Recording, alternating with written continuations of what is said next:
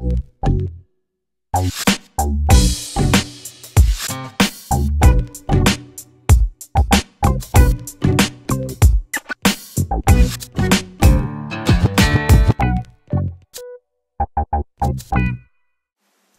everyone, what's going on? Ryan Knows Tech here from TechInform.us, and today we've got the review of a Sony Vaio. Um, it's a Vaio that is not mine. I know I'm going to have a lot of comments asking me why I got a Vaio. Um, I didn't. Fixing it for a friend. This model happens to be the VGN FW510F. Don't ask me what that means because I haven't the slightest idea. Anyways, here it is. It's a 15.6, I believe. Um, it's the widescreen version. I don't know if it's 15.6 or 4, but it's one of those. You guys get the idea. Uh, relatively expensive machine. It's fairly fairly new. It's not brand new. It is designed for Windows 7, so you know since uh, October of 2009. It's got a really nice look to it, though. I was surprised. Most PCs don't look this nice. Uh, it's got Vaio and Sony. Actually, Sony is just uh, printed on in the plastic, but Vaio, this is out of some sort of metal material here. Plastic feels good here. Uh, we'll take a tour around the device first. But the keyboard, it's an island style keyboard. Looks a lot like a MacBook Pro keyboard actually. Up top here we find our speakers and buttons here. Uh, SR1, I don't really know what that is. There's uh, volume up and down, play, pause, stop, backtrack, forward a track, and then AV mode for audio video. Um, keyboard, of course, uh, mouse buttons here. Don't have a whole lot of feedback. They feel pretty good though. Trackpad is nice. Uh, I think it's Alps and not Synaptics, though, so that may be a problem for some of you, and it would be for me, uh, but I, I, could get used to it again if I had to. Over here are our our our hour, if I can talk today, sound like a seal. Stickers, uh, designed for Windows 7, Intel Core 2 Duo, ATI, uh, Radeon premium graphics, over on the left, you're going to find your Vaio logo and your Energy Star, because this is Energy Star compliant.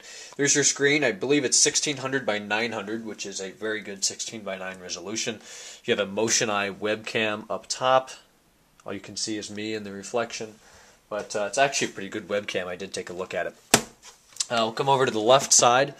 That's where you're going to find your power plug in here, your fan vent, Kensington locks over here, gigabit Ethernet, VGA out, HDMI out.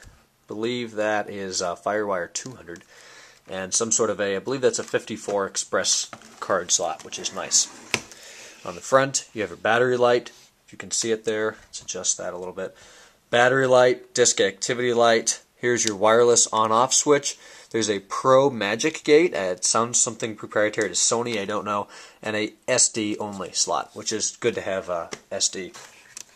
Uh, along the front right, is your microphone and headset 3.5 millimeter jack connectivity, which is nice. Three USB ports, two 2.0 over here, DVD-RW, and your power button, which we'll be pushing very shortly. It's uh, it's relatively thin. I think we'll do a little size comparison here uh, against the mid 2009 whoops MacBook or the early 2010. I just switched. I need to remember this MacBook Pro. So this is the 13 inch. Obviously, it's going to be uh, quite a bit smaller on top, but we should see the difference in thinness. But there is a pretty big price difference here as well. Anyways, we'll go ahead and boot it up. Take a look here. Uh, I believe it's running a Phoenix BIOS. And we'll get into the specs once I get into the OS and I can remember what it is. As a little side note, here's the power adapter of the Vaio next to Apple's MagSafe. It really feels like it's full of nothing. It's pretty clunky. It's got a uh, green LED that tells you when it's functioning. But uh, I really wish they could make these smaller. We'll be able to see this nice screen resolution here in just a second. As it finishes booting, you can see that there is a, a little green power ring uh, here that lights up when it's charging and uh, definitely when it's on. And it will be orange when it needs power and when it's charging and has not reached a full charge yet uh, as it still finishes booting because it's Windows. We will talk about uh, build quality. Now, it, it feels pretty good. It's made of plastic. It's definitely better than your uh, average run-of-the-mill Pavilion uh, from HP or your Dell Inspiron. So it's it's not bad. However, uh, being used to a MacBook Pro and then coming to use something like this for a day or two for review, it it just feels uh, it feels like a PC, guys. It's, you've got some uh, actually a very fair amount of flex here. Uh, the plastic moves around a little bit. The biggest thing, though, I would say, are these hinges. They're really not designed that well. They move in a lot. It's not flat. It's not straight. That would definitely be something that that um, that would make me a little hesitant to buy this. But I don't think it's something to that would turn me around completely. So we are booted up now, and this is excuse the obnoxious Windows logons on there, running uh, Windows 7 Home Premium 64-bit. Um, RAM in here, we've got four gigabytes of the DDR2 800. So it's not DD, it's not a DDR3 system. Coming from late last year, uh, I would expect in this price range at least uh, DDR3, the the 800 speed, I believe, uh, megahertz RAM, if not 1066. So it no, it's it's not slow RAM. It's just not the high-end RAM that most of us MacBook, MacBook Pro, iMac, any Mac users and uh, definitely other PCs in this price range. So we're going to wait for this to open because it's Windows, and uh, we'll see what's going on here.